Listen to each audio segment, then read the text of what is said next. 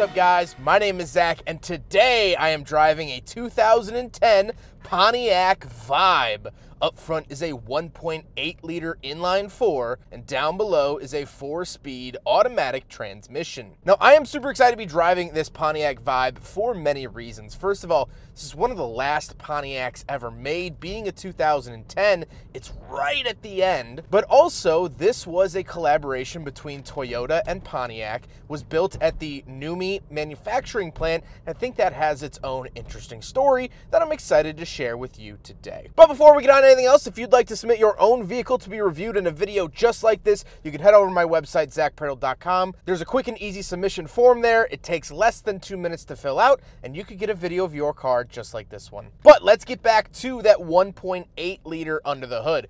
Well, mechanically, this car is a Toyota, which is very, very good for someone who might be interested in buying one of these because Toyota makes very, very reliable products. Now, there was also a 2.4 liter inline four offered as well on the upper trims of the Vibe, such as the GT. However, that is the 2.4 liter from Toyota. Very reliable engine, but they did have oil burning issues. If you want to look more into that, you can look into the Camry 2.4 because that's what the engine was derived from. This engine makes 132 horsepower. However, if you went up to that bigger inline four, you would be making 158. So not a huge difference, but 132 seems to be fine. Like I said, Paraduit is a little automatic transmission. Now you could find these in manual as well. This is a four speed auto, but a five speed auto was offered with the bigger engine and a five speed manual was offered if you got that option. Last but not least, this Vibe is front wheel drive. However, there was an all wheel drive option available as well. So plenty of different drivetrain setups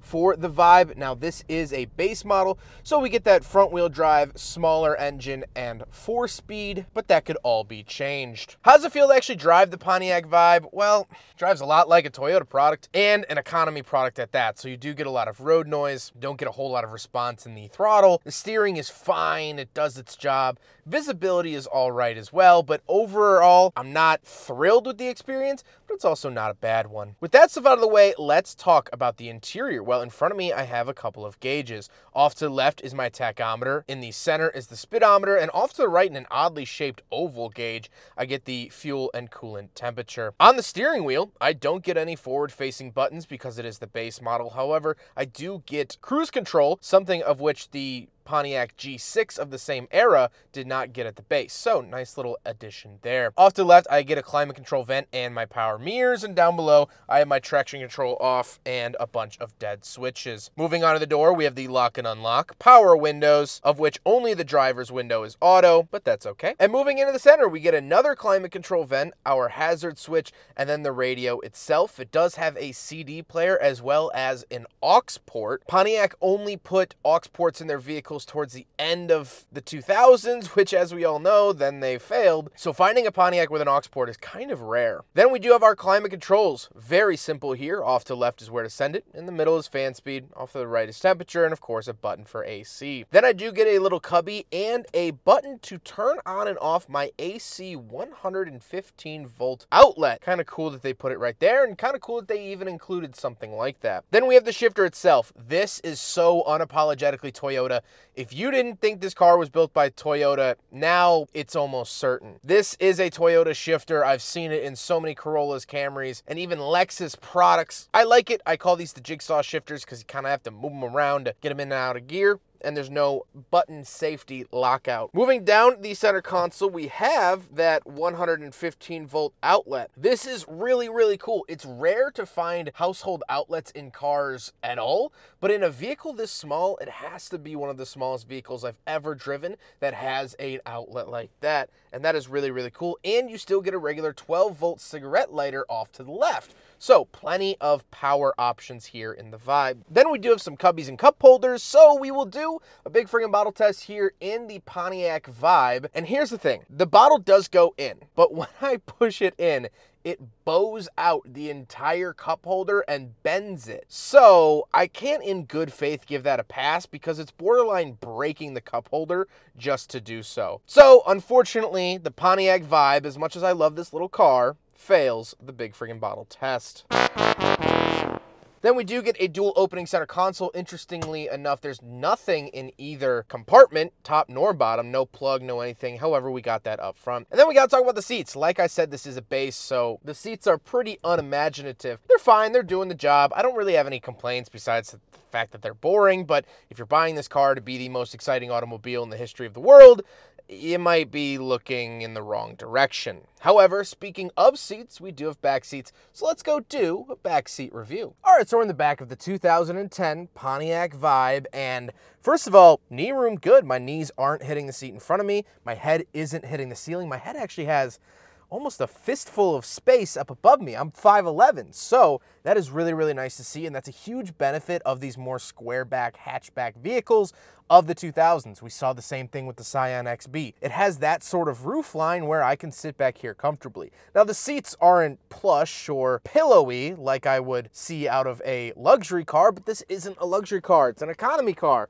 So the seats are fine, there's a little rip, but after 13 years, I'd be surprised if it didn't. I don't get a center console. I don't get any sort of cubby space. I have little cup holders in the doors. That's about it. Then I do have pop-out cup holders in the center console. So I guess that is a little bit nice. However, speaking of space, let's hop out. We'll take a quick look at the trunk and cargo space, and then we'll talk about the looks. All right, so we're on the back of the Pontiac Vibe.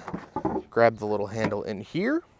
And something that I really, really like is that you actually get this hardened liner. So if you put these seats down, it has these rails, things can slide on. This actually is a pretty nice utility vehicle.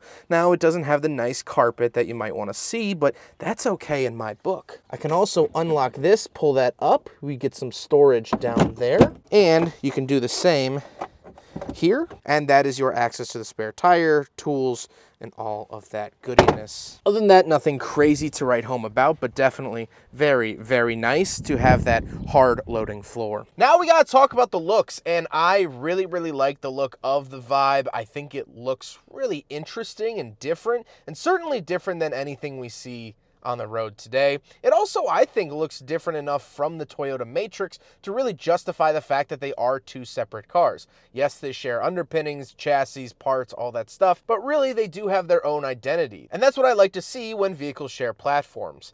However, with all of that being said, let's get on to my final thoughts. What do I think driving a Pontiac Vibe? Well, before we get on to my touchy feelies, let's talk about the history of this car. So, like I said, this car was built at the NUMMI manufacturing plant out in Fremont, California. The NUMMI plant was a joint venture between Toyota and Chevy to build cars. That's where we got the 80s Corolla that also was the Chevy Nova. And all throughout the late 80s, 90s, and even through the 2000s, Toyota and Chevy built cars there together. We also got some of the Geo products from there, the Geo Prizm, of which was a Toyota Corolla. Mainly, it's where we got this, the Matrix and the Pontiac Vibe. Chevy and Toyota were working together in harmony, and it was a really cool thing. It was these two Goliaths in the auto industry coming together to build vehicles. I thought that that was kind of special. But if you know anything about history in the late 2000s, in 2008 we had a financial crisis here in the United States, one of the worst ever. And so Chevy and Toyota respectively started selling off assets. One of the biggest assets for Chevy was Pontiac. So they canceled the brand. When they did that, it left NUMMI kind of in limbo. The vibe was still being built there. And once that ended, the whole building was useless. And so it actually ended up being sold to a little startup company we now know as Tesla. That's right, the Tesla Model S's and Model X's in California are built in the old factory that this car came out of. And so this car was incredibly short-lived because this is the second generation of the Vibe, which started production in February of 2008 for the 2009 model year. Production ended in August of 2009. Although this car is badged as a 2010, production ended ended August 2009, meaning this car was only built for about a year and a half before Pontiac closed its doors and the connection between Chevy and Toyota ended. You see, it was a good relationship too.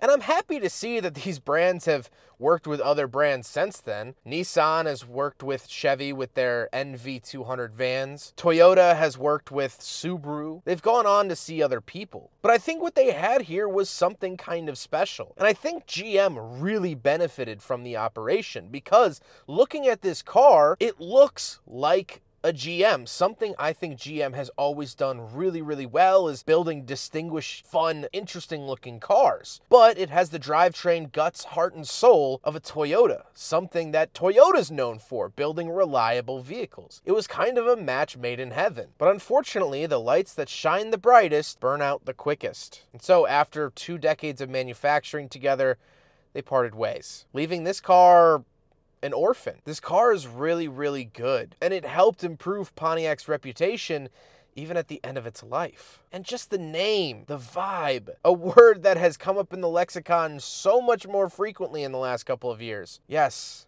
I did catch a vibe. It was blue, and I loved it. Well, I hope you guys enjoyed the video. Huge thank you to Michael for letting me take out his Pontiac Vibe. He's absolutely awesome. I've reviewed a couple of his vehicles before in the past, and I was so excited to get behind the wheel of this little Vibe, so thank you, Michael. But I hope you guys enjoyed the video. Don't forget to rate the video, comment on the video, and subscribe if you really liked it. Take care, guys.